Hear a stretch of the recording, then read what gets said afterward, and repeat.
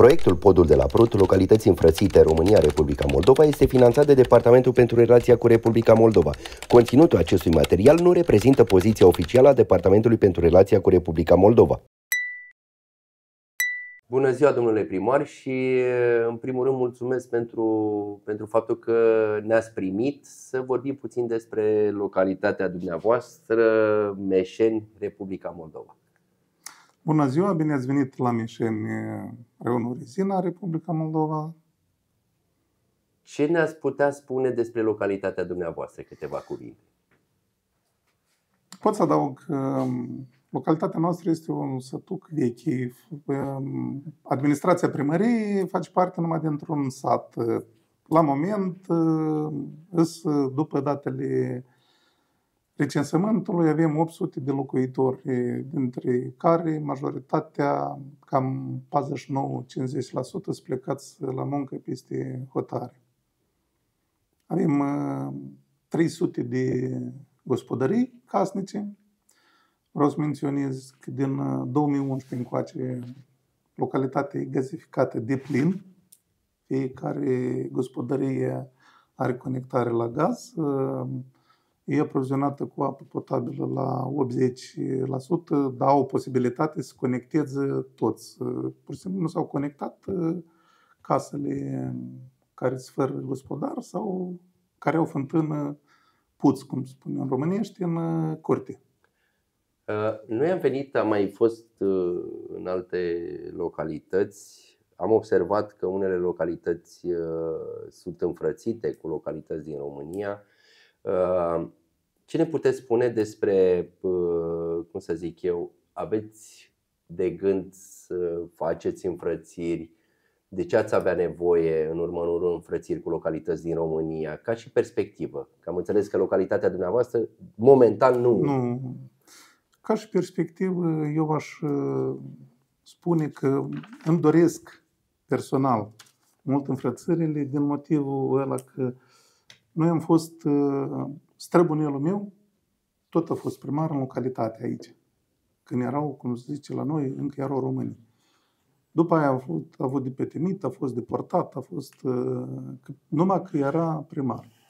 Uh, eu doresc, uh, v-am spus cea mai tare înfrățările, fiindcă noi am avut, am fost rupți de la neam, de la țară, avem uh, același grai, aceeași cultură și mă doresc mai de atât, fiindcă am o experiență de 12 ani de muncă peste hotare și am văzut uh, cum într-adevăr uh, peste hotare, când plecăm, uh, traversam România.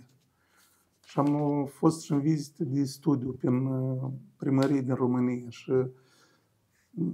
îmi doresc foarte mult că noi să schimbăm mentalitatea tetul cetățenilor, fiindcă de aici noi trebuie să începem.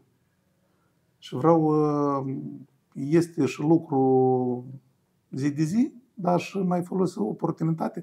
În primul și în primul rând, uh, aș folosi-o pentru că să schimb mentalitetul la populație, prin uh, legături culturale, prin chiar schimb de vizite, să, să vadă, fiindcă um, știu că, cum spunea și bunica și înainte, că moldovanul până și nu vede, până și nu achipul, el nu crede.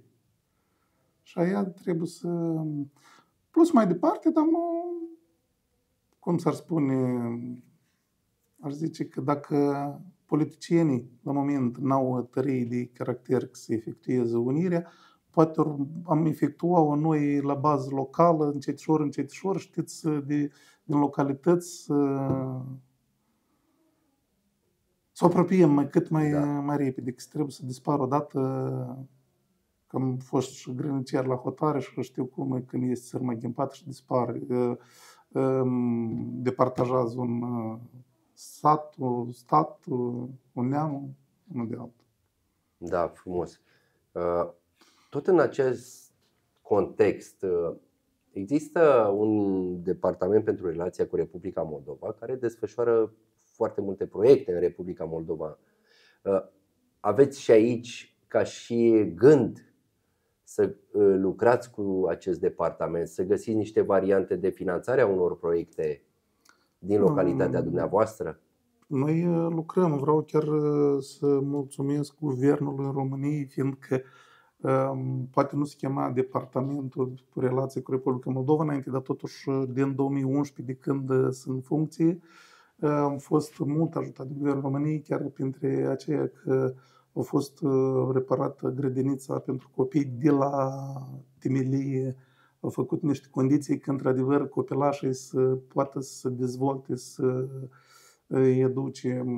Chiar aceiași pe teritoriul școlii anul trecut în programul Satul European Express. Deodată am fost exclus, dar după ce au fost alocate cele milioane de România, noi am fost incluși, care iarăși au fost făcut la școala primară un teren de fitness la aer liber, un topogam, care tot iarăși pentru dezvoltarea copiilor, fiindcă noi trebuie să investim în uh, generația următoare, în educație, că dacă nu să investim, să ajungem iar la ceea ce avem, că avem 30 uh, de ani de independență și nu suntem, uh, batem pasul pe loc. Să lucrează cu Departamentul pentru Relații cu Diaspora, cam slăbuți, recunosc, fiindcă în lipsă de specialiști cu trei lucrători contabili care și secretarul. Da, lucrăm ce putem, ne străduim să este încă un minus că suntem o localitate mică și noi trebuie să ne cooperăm cu vecinii, cu, da, și aici erau câteodată niște impedimente politice, niște... Dar poate proiecte comune ar, ar, putea să, ar putea să vă ajute cu alte localități din jur. Da, acum noi lucrăm pe ceea că să um, mărim debitul de apă potabilă, fiindcă avem uh, săpată numai o sondă și uh, cu perspectiva lărgirii, conectării mai multor uh, cetățeni, e cam se face dificil. Așa, în rest, ne-am străduit drumurile cât de cât sunt reparate, cum v-am și menționat, satul gazificat. În încheiere, mi-a plăcut ce ați transmis, dar totuși un mesaj către România și un mesaj către Republica Moldova. Știți, să aud că multe vorbe, că nici românii nu vă vor, că nici aici, dar noi suntem la hotar cu Transnistria. La noi multă influență vine din chiar până 3-4 ani în urmă. Situația economică în partea la Transnistria era mai bună și mulți speculau cu asta. Uitați-vă acolo, pâinea e un leu, aia e mai ieftin, aia e mai ieftin. Eu numai un lucru aș transmite amândouă la tuturor neamul. Să trăiască ca frații să ajute să, într-adevăr, să fie frați, fiindcă, știți, noi singuri, dacă nu ne face, noi singuri trebuie, n-a să vină nimeni să ne facă, dacă noi, chiar eu personal am fost învățat încă de timp ce ala că fratele mai mare să vii să te ajute, fratele de la ei, să că rușii, că ei tot timpul. Aia asta am o doleanță că și cât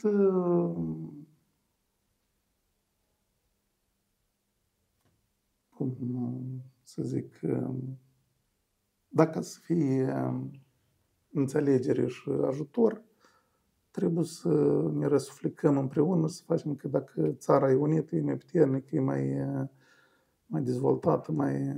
și politicienii trebuie să le să a lor, aia asta, ambițiile lor, că cu așa, cu așa, noi trebuie să facem să fim un neam. Mulțumesc foarte mult și vă dorim mult succes în continuare, domnule. Mulțumim pentru puțin. Proiectul Podul de la Prut, localități înfrățite România-Republica Moldova, este finanțat de Departamentul pentru Relația cu Republica Moldova. Conținutul acestui material nu reprezintă poziția oficială a Departamentului pentru Relația cu Republica Moldova.